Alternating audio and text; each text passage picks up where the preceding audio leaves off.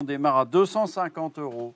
Allez, 250, c'est pris. Qui dit mieux que 250 270, 280. Oh, bah dites donc, il n'est Oh pas en là forme. hein. Non, il est- ça ah, allait, bah, là. Il commence à mais- mais- s'essouffler de la première enchère, on n'a pas fini. Fois deux fois, adjugé au 245. Pas de vente aux enchères sans spectacle. Son quotidien, c'est surtout de vendre des meubles, des tableaux, des bijoux. Aujourd'hui, c'est le tour des timbres. La vente a lieu dans la prestigieuse maison Hiver et Tellier. Marchands, collectionneurs ont fait le déplacement. Je suis un boulimique de la philatélie euh, depuis, euh, que je- de- depuis 1975.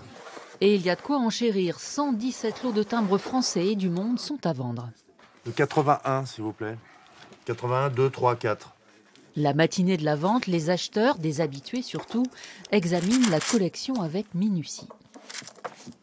On vend des lots, donc c'est-à-dire euh, c'est minimum un album jusqu'à un carton entier rempli d'albums ou, ou de vrac. Donc oui, c'est important de voir les lots, surtout qu'on a euh, certains lots où il y a de très belles pièces. Euh, on a un lot qui va commencer à 8000 euros, prix de départ. Voici le lot qui sort de l'ordinaire, le plus cher de la vente. Ça va faire cher ça. Bon moi j'en ai beaucoup, donc je regarde comme ça, mais c'est le lot phare de la, de la vente. Là, c'est le plus beau, c'est le plus beau. Ça commence du début, c'est toutes les colonies françaises, ça commence du début jusqu'à bah, jusqu'à 1950, 60. Voilà, c'est estimé 8-10 000, je pense que ça fera au moins ça. Boulot Alors. 64. Une belle collection des colonies françaises, un très bel ensemble, tous états, toute qualité, en 8 albums hiver, une cote de plus de 100 000 euros. On démarre à 6 500 euros. Et c'est couvert. Une affaire à faire compte tenu de la cote, mais curieusement, la salle enchérit peu. 1050, que C'est un client au 7050? téléphone qui l'emporte.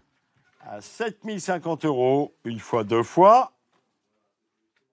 C'est à la fois des gens qui connaissent très bien et qui sont extrêmement euh, figés sur leur prix. Il y a moins de coups de cœur, peut-être que pour un tableau ou une voiture, dans le sens où il y a une cote.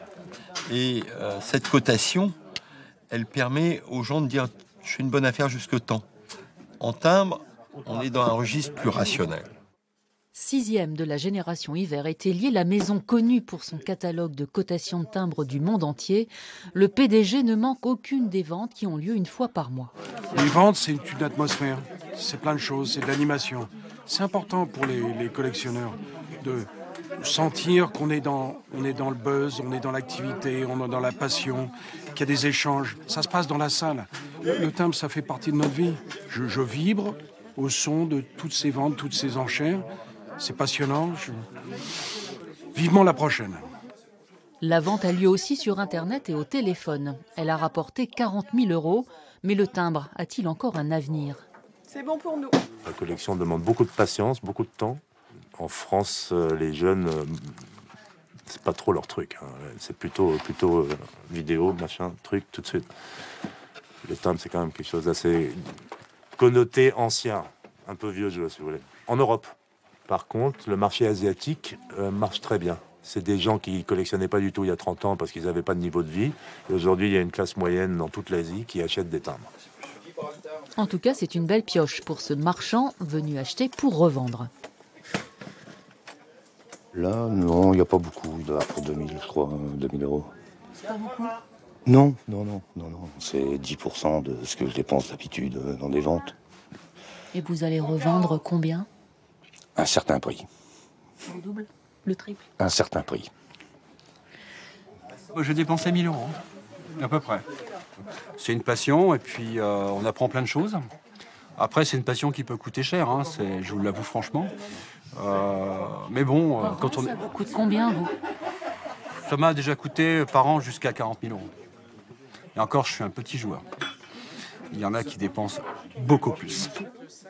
Les timbres proviennent généralement d'héritage. C'est justement ce qui occupe la maison Hiver et Tellier en ce moment, avec une vente exceptionnelle de timbres russes qui se déroule sur Internet, car là, ce sont les philatélistes de toute la planète qui vont enchérir. Une vente sur offre, c'est une vente aux enchères euh, à l'aveugle qui est propre au monde de la philatélie. C'est-à-dire qu'en fait, les personnes qui enchérissent ne connaissent pas les offres qui ont été faites au préalable. 13, 14, 15, j'ai eu déjà 15 offres. Et la vente vient seulement de démarrer. Elle a commencé, elle a commencé ce matin.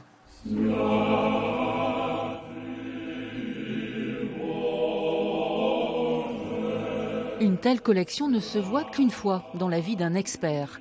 C'est lui qui a établi les prix de ces timbres du milieu du 19e. Les plus rares sont estimés à 12 000 euros le timbre. Il nous explique ce qui fait la valeur.